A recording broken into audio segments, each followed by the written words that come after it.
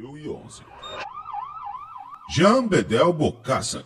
Um canibal, um ditador, um louco implacável. Tudo isso pode ser dito de Jean Bedel Bokassa. Ele foi presidente da República Centro-Africana de 1966 a 1976. Mas isso não era o bastante. Então, em 1976, ele se proclamou imperador vitalício. Como você sabe, tal homem não lidaria com seus oponentes com luvas de pelica. Ele lidou com a oposição com muita crueldade. Ele serviu a alguns deles como comida para leões e crocodilos. Bokassa também era um canibal e não hesitava em falar sobre isso.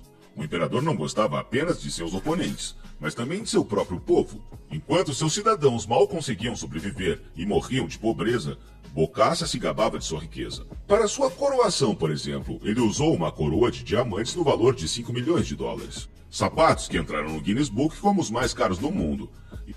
E sentou-se em um trono de ouro pesando mais de duas toneladas. Era como se ele estivesse tirando sarro de seu próprio povo de propósito. Até que um dia todos se cansaram, e em 1979 o tirano foi deposto e expulso do país à revelia.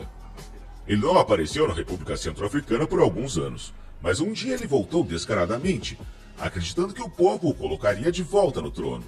E claro que isso não aconteceu. Bokassa foi imediatamente preso e condenado à morte. Por algum milagre, Bokassa teve sorte. A sentença foi comutada duas vezes, e então o tirano foi libertado por uma anistia e morreu três anos depois em sua cama de ataque cardíaco.